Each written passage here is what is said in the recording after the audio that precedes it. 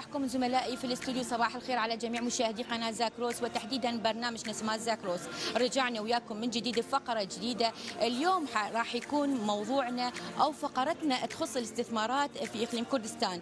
مثل ما تعرفون آه، زملائي ومشاهدينا حكومة إقليم كردستان آه، قامت بتسهيلات آه، عديدة للمستثمرين المتواجدين العرب والأجانب. أتواجد أنا حاليا في إحدى المطاعم المعروفة في مدينة زاخو ليكون صاحبها أحد المستثمرين الاتراك راح يكون لنا حديث وياه مرحبا شلونك؟ آه، شلون نشوف التسهيلات اللي قدمتها حكومة اقليم كردستان خصوصا للمستثمرين العرب والأجانب؟ صار له 14 سنة من جينا من تركيا من هون نشتغل. ممنون نحن من آه، حكومة العراق لكردستان. آه، مشان أحد في الإيلة من صعنة لا مشكلة على آه، حكومة لكردستان. كل شيء زين كل شيء باش كل شيء باشيرين ما لنا مشكلات.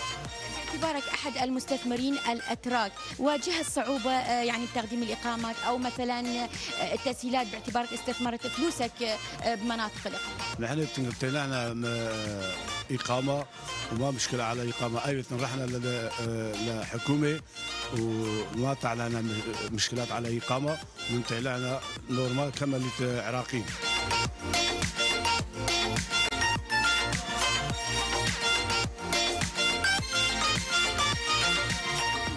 مرحبا.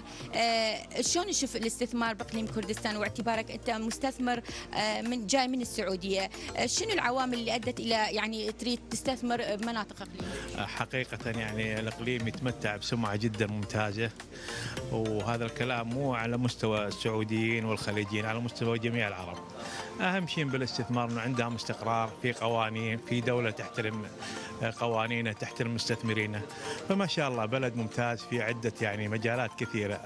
مجال الزراعة مجال ال- المعامل يعني كثير عدة مجالات كثيرة.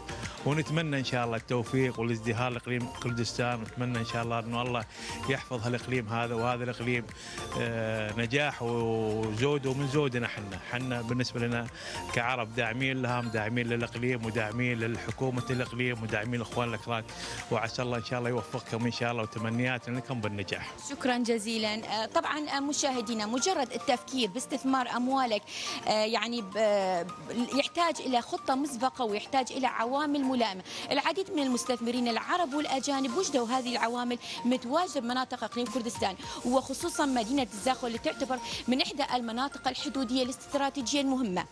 مشاهدينا آه، لا ننسى الأمن والاستقرار السياسي المتواجد بمدينة آه، مناطق إقليم كردستان. كلها عوامل ساعدت جذب المستثمرين العرب والأجانب بمناطق الإقليم. كذلك آه، يعني لا ننسى طبعا التسهيلات اللي تقدمها حكومة إقليم كردستان للمستثمرين.